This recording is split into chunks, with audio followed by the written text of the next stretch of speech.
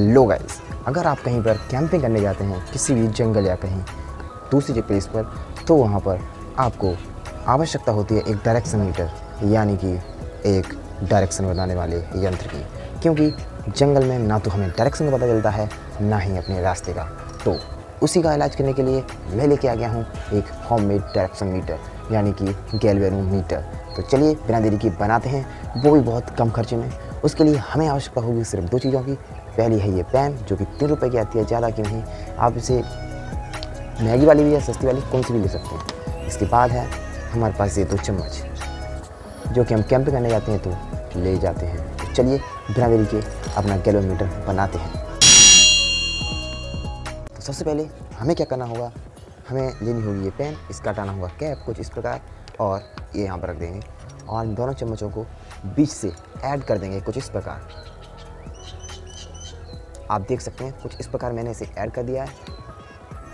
आप देख सकते हैं, इसके बाद हमें कुछ नहीं करना है, सिंपली इस पैन को लेना है और इसके बीच वाले जो छेद है, उसमें लगा देना है कुछ इस प्रकार।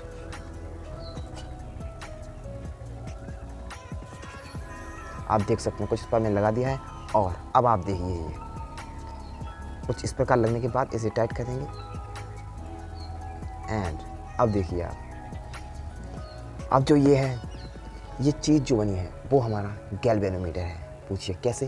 क्योंकि जो एक साइड का ये तीर जैसा निशान है और ये दूसरी साइड तो ये जो एक साइड है, वो बता रही है ईस्ट और दूसरी साइड है, जो नीचे है, वो बता रही है वेस्ट तो आप इससे अपनी डायरेक्शन का पता लगा सकते हैं। है ना कमाल की चीज़? वो भी मात्र बहुत ही कम मतलब पैसों में। आप कैसे भी देख सकते हैं। देखिए, ये घुमा। और अगर आप इससे ऐसे घुमा भी देंगे तो ये गलत हो जाएगा। सिंपली इसे क्या करना होता है? दोबारा से उठाना होगा। दोबारा से कुछ इस प्रकार। बीच में फिर से लगा देना है और छोड़ देना है। आप देख सकते हैं, ये घूमेगा नहीं अभी बिल्कुल। और जब घुमा देंगे तो अपने आप घूमेगा। डायरेक्शन वही आ जाती है। आप देख सकते हैं। तो अगर वीडियो अच्छी लगी हो तो लाइक करें। चैनल को सब्सक्राइब करें, बेल आइकन को ज़रूर से प्रेस कर दें। तो चलिए, मिलते हैं किसी नेक्स्ट वीडियो में। तब तक के लिए जय